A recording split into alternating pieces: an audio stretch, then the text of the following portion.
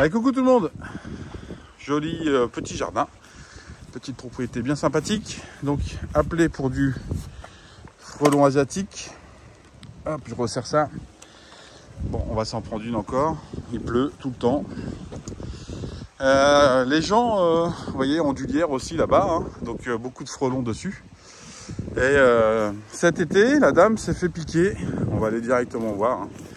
S'est fait piquer trois fois, deux fois à la main et une fois au genou en taillant euh, le petit arbuste qui est là.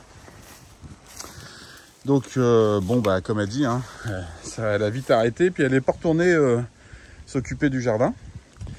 Et ils n'ont pas trouvé euh, Denis, ils ont, le, mari est revenu chercher voir, il n'a pas, il a pas vu d'aller-retour plus que ça. Et bah voilà, je vous le donne en mille. Regardez où ils se sont situés.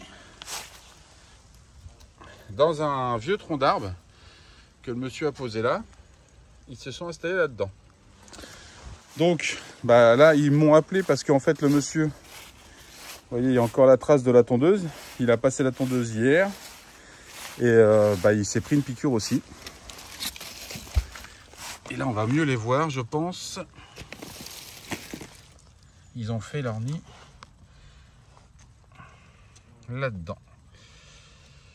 Donc voilà, on peut dire qu'il est euh, au sol. hein. Alors je pense qu'avant de bouger tout ça, je vais traiter tout de suite. Ça sert à rien de trop les énerver. Et là, je peux pas boucher l'entrée du nid. Je vais vous poser là, si ça veut bien tenir.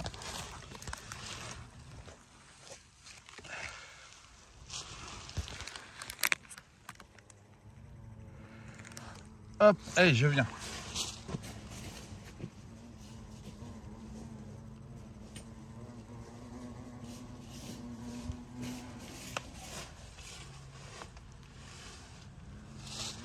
On a même l'impression qu'ils sont au sol.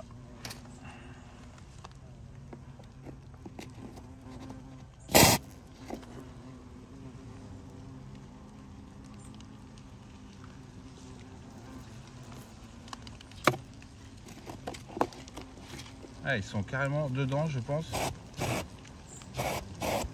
Voilà.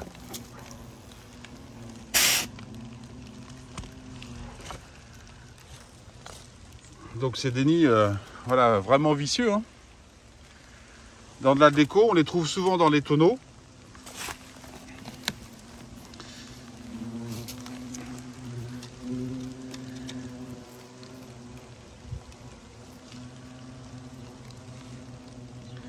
Je vais peut-être essayer de, de bouger tout ça.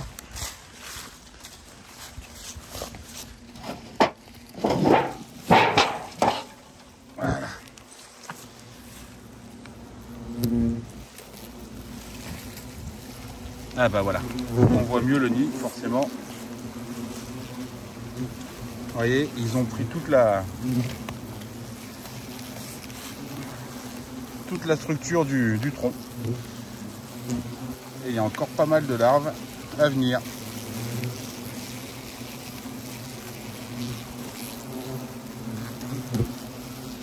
Voilà des vrais pièges. hein. Donc ils sont dans les arbres beaucoup en ce moment. Mais voilà, on peut faire des, des beaux pépères.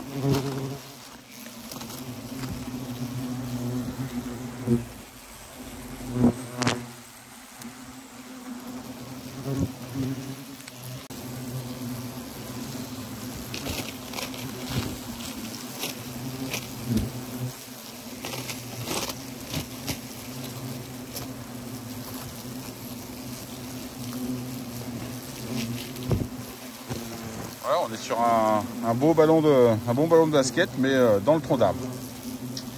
Je vais le remettre en place. On va laisser tout le monde revenir se contaminer. Et voilà. Saloperie de frelon asiatique.